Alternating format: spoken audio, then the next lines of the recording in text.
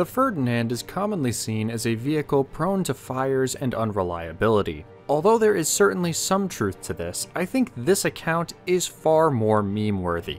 According to a combat report, in one instance, a Ferdinand was being employed alongside some other German armor when a Soviet artillery shell set off the explosive carried by a Borgward 4. This caused an enormous explosion which sent the upper half of a nearby Panzer III into the air where it proceeded to land on top of a Ferdinand. The damage caused by the falling Panzer reportedly resulted in the loss of both vehicles.